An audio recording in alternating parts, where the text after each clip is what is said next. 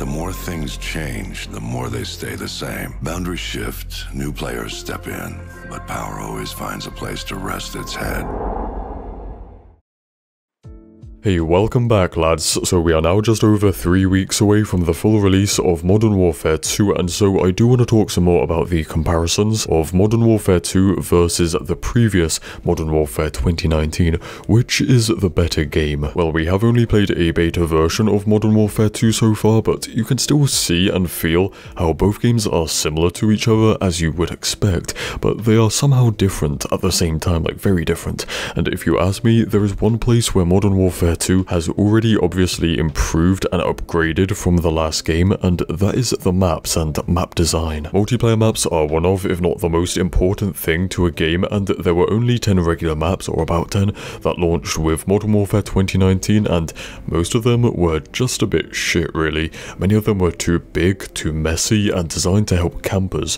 Like, they just didn't flow or play well, and you can't forget all those damn doors. But here in MW2, the maps that we played in the beta are a clear improvement. They're just more normal, if that makes sense. Like, they're more in the style of what we call the three-lane competitive maps that are medium size, but they still feel different to maps that you'd play in Black Ops games or other new Call of Duties. Like, it, it was described almost perfectly to us months ago in a leak, saying that the maps would go back to being more of a traditional style, but keeping the Infinity Ward flair. Know, they feel like maps that you would play in like Modern Warfare 3 or the better maps from COD Ghosts, stuff like that which I think is, is good, it's a good thing. So yeah, maps and their designs have a massive impact on the game because apart from that, the games are extremely similar, like the general gameplay design and feeling is practically the same, like in a way repeating the same mistakes too.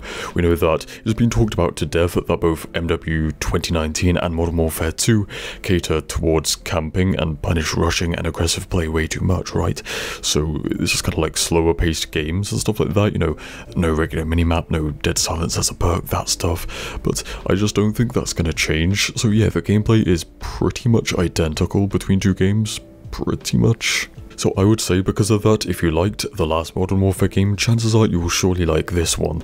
But if you're like me and you just did not enjoy the regular multiplayer of Modern Warfare 2019, you might like Modern Warfare 2 because the map design improvement is, uh, it's a big one, it's a big change in it, like changes the experience. So yeah, it is like a massive difference. Not only that, but rumours and leaks tell us that there will be 16 regular maps and 4 ground war maps in Modern Warfare 2 when it fully releases later this month, which is a lot more content than the previous title.